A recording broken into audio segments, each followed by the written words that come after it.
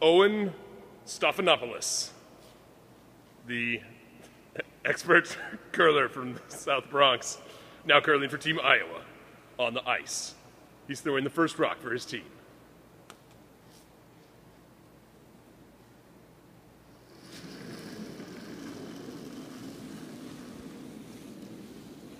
What should we do?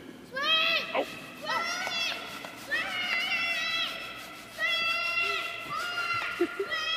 Ha ha ha!